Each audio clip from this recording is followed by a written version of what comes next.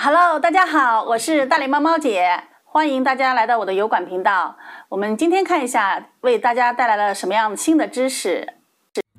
第三集，在市场份额和应用下载量方面，又花了数年才赶上 iOS，这距离 iPhone 上市已经四至五年时间。二零一五年和二零一六年的 VR 市场状况，相当于二零零七年的智能手机市场状况。同样，对于 VR 而言，开发者要开发出能让消费者将 VR 融入日常生活中的应用程序，还需要数年时间。在这些应用程序中，游戏可能首当其冲，但是 VR 要想真正成为主流，还需要其他应用，如视频、社交等这些。应应用能提升用户的日常互动，从而推动 VR 走向大众市场。第二章，VR 的目标是在场，在场就是让我们感觉到自己正身处 VR 世界中，而不仅仅是戴着 VR 头盔。VR 在做到这一点的同时，还要确保不让用户出现晕动症，这需要 VR 设备满足特定的技术规范，无论硬件还是软件，要实现完全在场，需要满足诸多核心技术指标，包括硬件层面和软件层面。在下图中，德银展示了当前主要 VR 设备在这些标准上的满足情况，包括位置追踪、显示、镜片质量、校准、触觉和音频等。主要 VR 平台在满足在场标准方面的对比，基于上图可以总结出两个结论：结论一，基于台式机和游戏主机的 VR 系统已经为 VR 的普及做好了准备，即使内容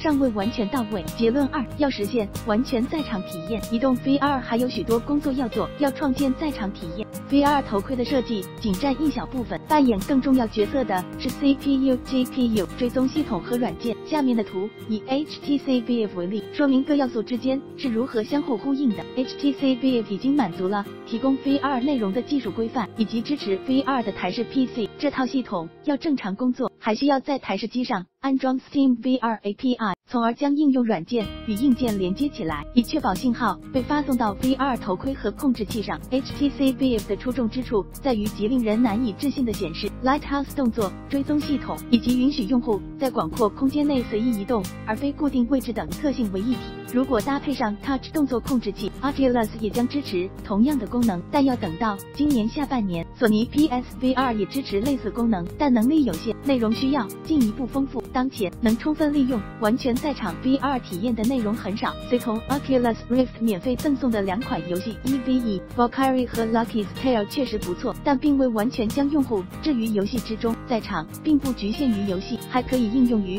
其他一系列体验中，如音乐会、健身、商务会议和社交互动等。在上述应用体验中，必须要做到慢速和近距离，以防止出现困扰许多 VR 体验的晕动症。到目前为止，我们见到的完全在场 VR 体验的最佳应用包括 Oculus Toy Box。Facebook CEO 马克扎克伯格称，这是我最近感受到的最疯狂的 Oculus 体验。该应用除了充分利用 Touch 控制器的威力，Toybox 还支持多玩家模式。在 Toybox 平台上，玩家可以相互看到对方，例如两个用户打乒乓球、使用道具对战、一起放烟花等。所有这些都发生在 VR 世界中，很好的展示出了精准自然的 VR 输入所带来的快乐。Tilt Brush，Tilt Brush 相当于是 Windows 画图工具的 VR 版本，允许用户在 3D 空间内通过控制器来绘画、雕刻。London Heist 伦敦劫案，London Heist 是专门为 PS4 和 PSVR 开发的第一人称动作射击游戏，充分的利用了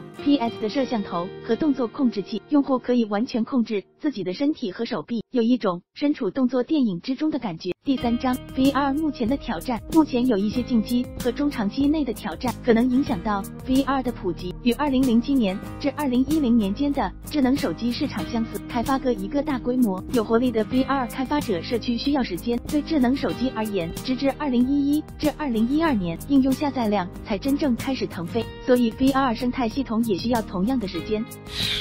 you